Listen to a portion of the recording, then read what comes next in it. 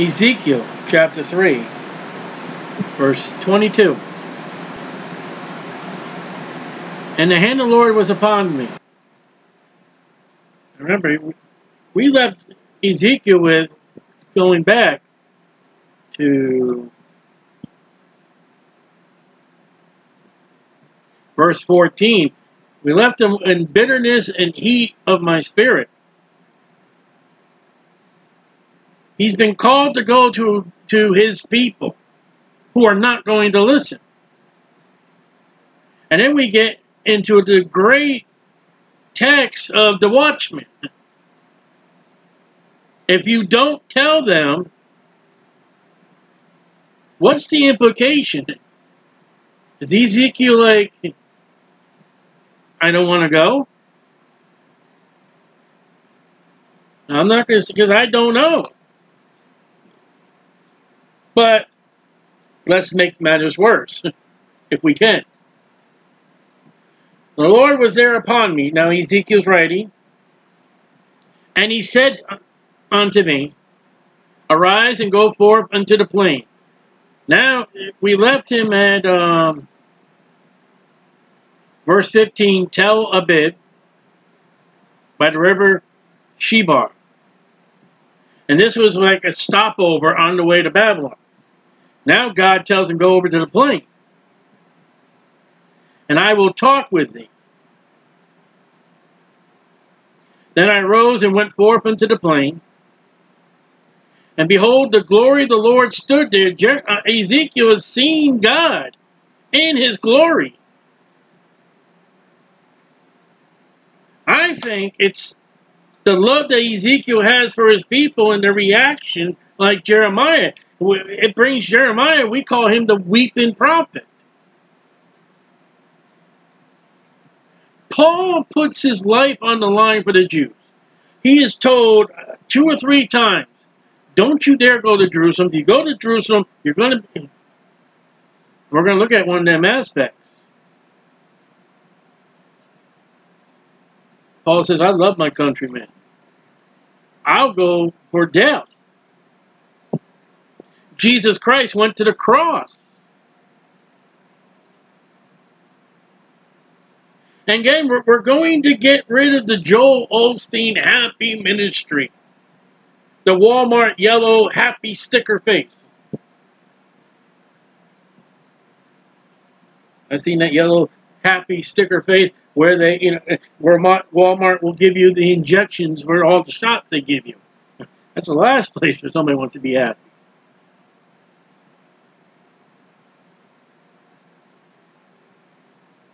As the glory which I saw by the river Chebar, that's chapter 1, and I fell on my face.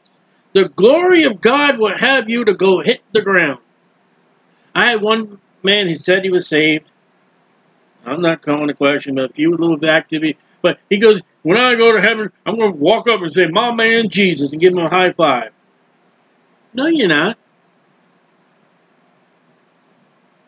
I believe when when you die and you're absent from the body, you're present with the Lord. I believe you are looking at a pair of feet when you see Jesus.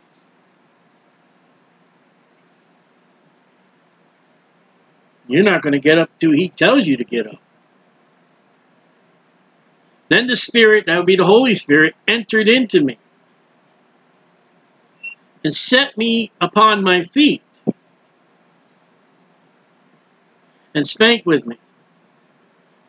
Look who's doing the speaking. The Holy Spirit's doing the speaking. The Spirit entered me, set me on my feet, and spake with me. That's the Holy Spirit. God the Father speaks, Jesus Christ speaks, and the Holy Spirit speaks. And said unto me, Go. That's a great bird known by God. I wonder what the modern Bibles do with it. I don't know what they do. I, I just throw that in there because I, I hear the modern Bible being read and I only got to laugh. That made it simple. You, you threw the whole context out. Shut thyself within thy house. Go to your house, go home, close the door. But thou, son of man, favorite term of Ezekiel, I've seen it of Daniel and the Lord Jesus Christ.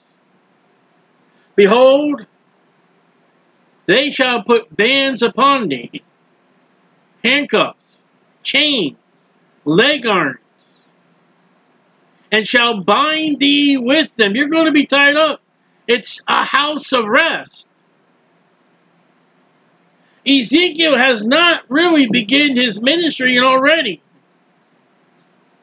And they shall not go out, and thou shalt not go out among them. And we would call it a house arrest. Now, interesting, Jeremiah. We're taking our time with Ezekiel, taking our time at Jeremiah, Jeremiah 29 because they are interesting books to study in the ministry. Jeremiah 29 26.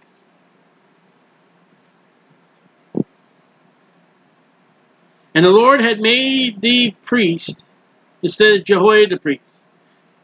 And he should be officers in the house of the Lord. Every man is mad, make himself a prophet. Thou shalt be put him in prison in the stocks. Now therefore, why hast thou reproved Jeremiah? Jeremiah was put in prison and locked up.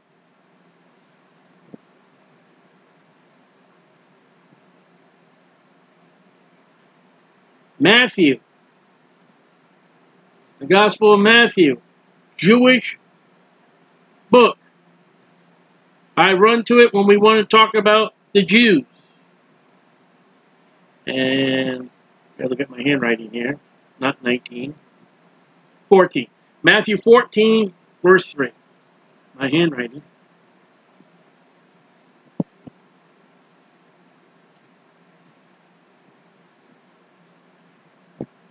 For Herod had laid hold on John the Baptist and bound him and put him in prison. Chapter 27, Matthew. Chapter 27. This is nothing new with Ezekiel. Chapter 27, verse 6. Talking about the Lord Jesus Christ. Verse 1, Jesus. Pilate, verse 2. Judas, verse 3. Verse 6. Uh, uh, no, verse 27, 2. Excuse me. And when they bound him, Jesus, verse 1, Joseph was bound. Acts 12.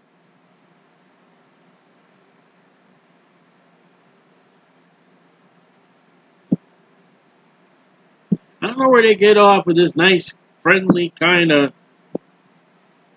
ministries and happy-go-luckies unless they haven't read their Bible. Acts 12, 6. And when Herod would have put him forth, the same night, Peter was sleeping between two soldiers, bound with two chains, and the keepers before the door that kept the prison.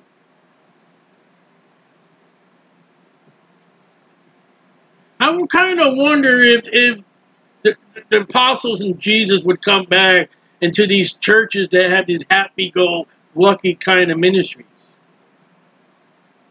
Everything's hunky-dory, just love.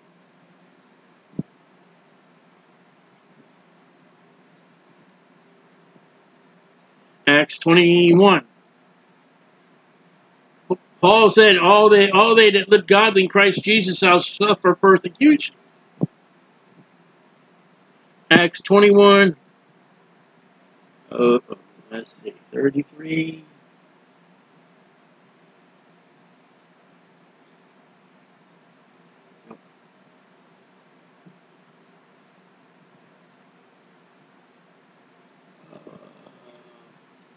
terrible handwriting. 23?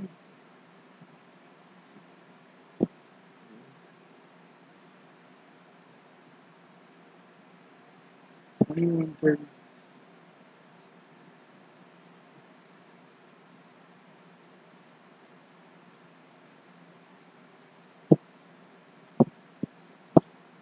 Oh, it's bound up somewhere here.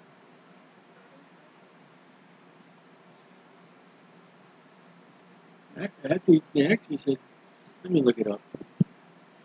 33? Not 33. Okay, yeah, 30, 2133. Didn't see the bound. And the chief captain came near, took him, Paul, and commanded him to be bound between two chains. Jail. We know Paul spent his whole life between chains. Revelation. Revelation. Chapter 1. I'm going to read into this one, but scripture would tell you. Revelation 1, my writing, 9. Now, it doesn't say it, but I'm going to read into it. And I, John, who also your brother companion in tribulation, and in the kingdom of the patience of Jesus Christ, was in the island that's called Patmos. Tribulation. John was put in jail for the word of God, and I could only imagine that they bound him at times.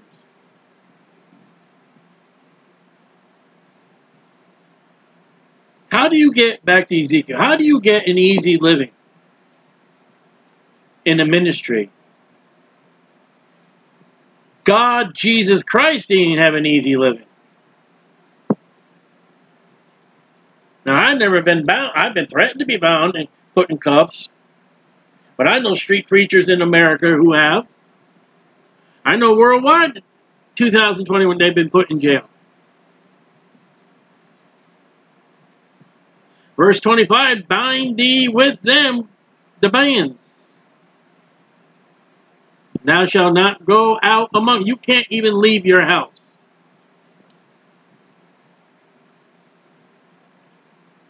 That's God's man. That's somebody who said, okay, God, I'll do what you tell me to do. And what is what is the result? Okay, God, I'll do what you tell me to do. I'll do it to the best ability I can. I, you know, I'm still a sinner. Okay. And what's the world say? Lock them up. Put them in jail. Call the cops. Get rid of them.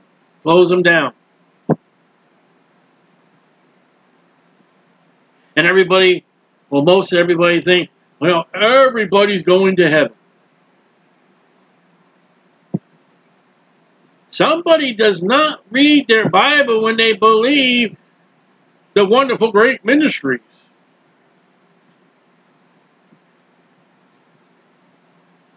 And they cover it up by, you know, the, the chicken fellowship, the barbecue, and, you know, we're to have the bingo, we're to have, you know, the trunk or treat, we're to have the movie night, we're, we're to have the roller skating night, we're going to have the family game night. We're, and we don't suffer no persecution, but by love and by letting our light shine, you know, people will get saved.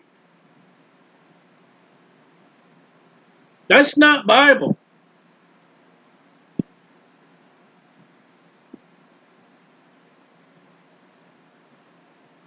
Nowhere does it say all are welcome.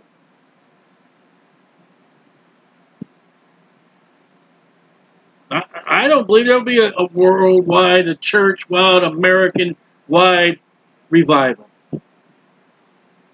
Because there's no suffering.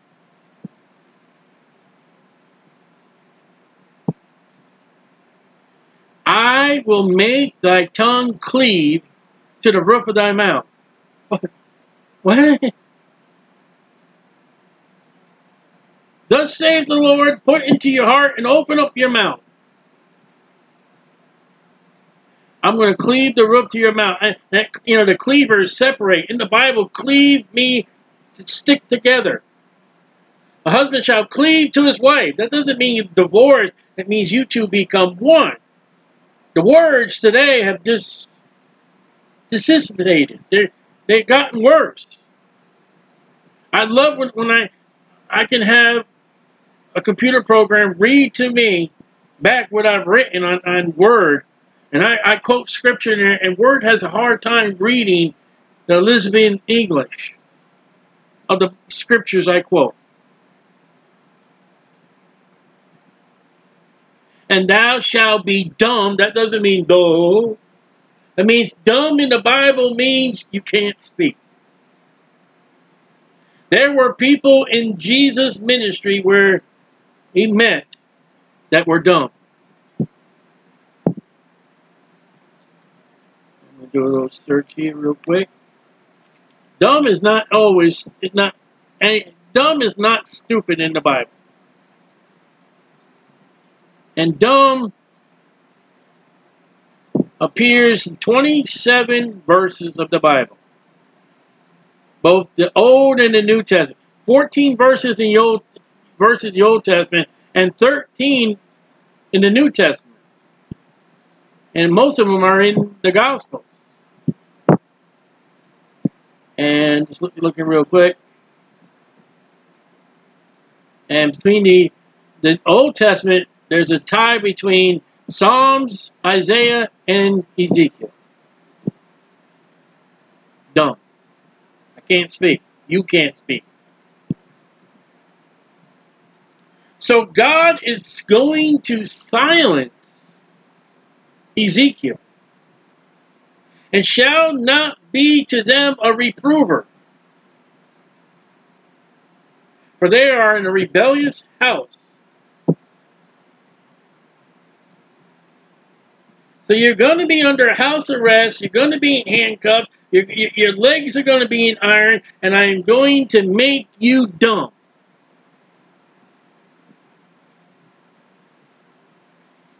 That drive me nuts.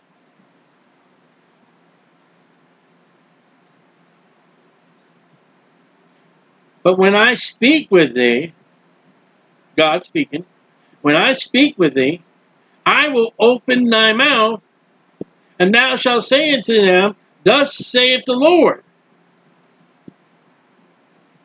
So Ezekiel, what the count is, the only time you're going to open up your mouth, Ezekiel, will be a while. Because it'll be later on when we get in Ezekiel, God's going to say, okay, you can speak. But the only time you're going to speak now is when I tell you to speak. Your words will not be your words no longer. They will be my words. And I will prevent the speaking of your mind and your heart and your own. I'm going to prevent you by giving you the dumb spirit. And when I do want you to talk, when I speak with thee, I will open thy mouth, and thou shalt say unto him, Thus saith the Lord God. I wish that would happen with many preachers today. That the only time they would open their mouth is, Thus saith the Lord. But too many preachers open up their mouth with their own worldliness, their own devilishness, their own carnal way, and they very rarely open their mouth to thus saith the Lord. Some of them will even say, well, God led me to this message. God made me, God would have me to, God spoke to me. I like when they say, God led me to have this message today. And it's like, hey, buddy, you preached that same message last year. All you did was just take the dust off.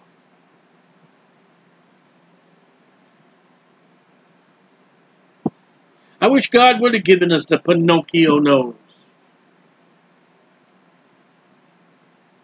Thus saith the Lord God, He that heareth, let him hear. That's with the ministry. Speak what God tells you to speak. And he, he listen, there will be people that will hear you. There will be people that listen. They're all not going to be against you. with the ministry I've had, and I've been in the active street ministry since 2005. I wonder, I don't mean them going on the street and preaching, but I wonder how the ministry we've had, where encourage somebody for God to say, okay, I want you to do this. And they are going about in their public ministry, not always street preaching. That's not the only public ministry because they heard, they listened, and they're obeying God to what God wants them to do. And he that forbeareth, let him forbear. There are going to be people who will not listen. I had a preacher tell me one time he offered me this ministry. This is this is where I turned it down. Well, see, when you get up and preach, there are going to be people going to get up at, at your altar. They're going to they're going to kneel down. They're going to pray, and you'll start seeing the people in their seats, and they'll start praying as you work your way to the back row. Everybody, everybody. Well, show me that in the Bible. Well, there was added unto the church a thousand. There was added unto the church two thousand. And how many people didn't were added to the church? How many people walked away not saved? I guarantee what the Bible said. I guarantee a lot more walked away.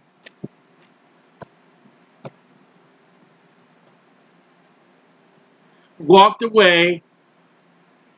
They weren't added to the church.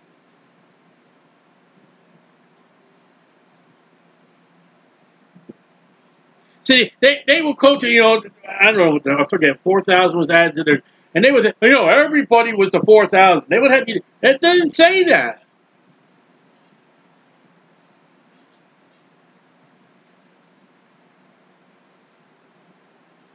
But then again, you've got the mighty power of the Holy Spirit that's not in the churches today. Read the Laodicean church age. But there will be people that will hear, there will be people that forbear, for they are a rebellious house. And that closes off the three chapters. And we've come a long way from these, these heavenly beings, the cherubims, with wheels and God, and you're going against a people that are your people, they're not going to listen. Now you're sitting in your house, a house arrest, and you can't speak unless I open your mouth.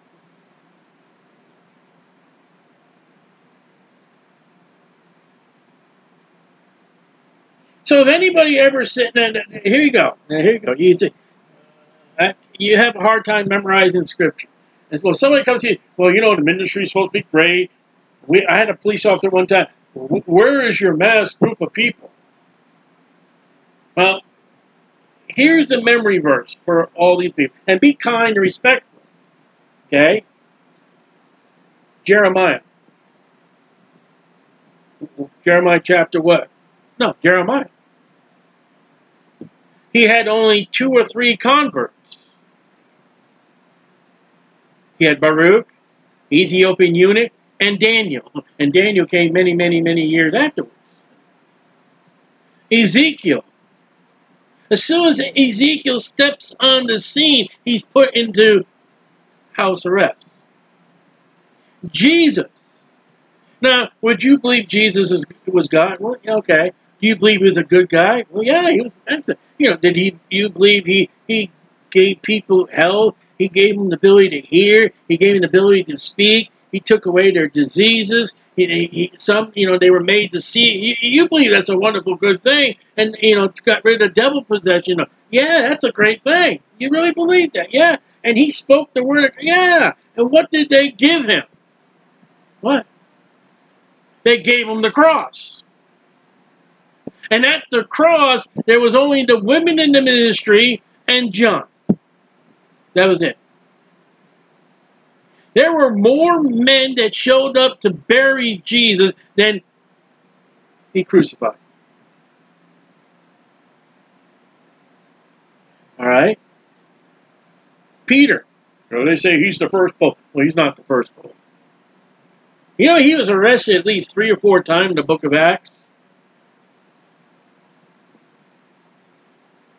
Apostle Paul spent his whole life in perils and perils of the countrymen and perils of the heathen and perils among the Christians. And Paul said, All they that live godly in Christ Jesus shall suffer persecution. Revelation is a good book. Oh, it's a great book. I love Revelation. Our church is doing Revelation. All right, good. And why was John on the island of Patmos? For the Word of God. So when you're supposed to have results, and our church has got all these people saved, and our church has the altars full, and the Jeremiah, Ezekiel, Jesus, Peter, Paul, John, James was killed in. Uh, all the apostles, here, here's all the apostles died a violent death, but John, the apostle. And all for the word of God. How is it your church is doing great and happy wonderful, and everybody in the Bible is opposite to what is going on in your church? And they didn't have chicken cook-offs and all that. Jesus fed 5,000. He fed 4,000.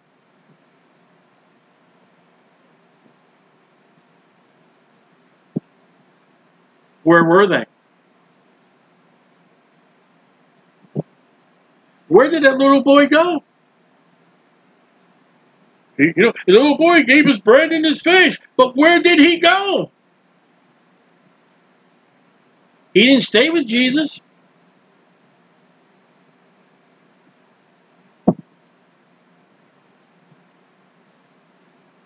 Think about that.